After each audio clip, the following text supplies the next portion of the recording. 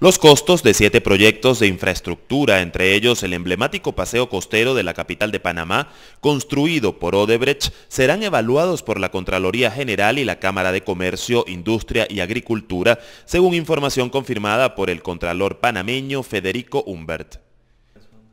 La iniciativa responde a la exigencia de varios sectores de que se investigue la actuación de la constructora brasileña desde que llegó a Panamá alrededor del año 2007. La Contraloría también ordenó hacer otras investigaciones para determinar si otras empresas y no solo Odebrecht pagaron sobornos.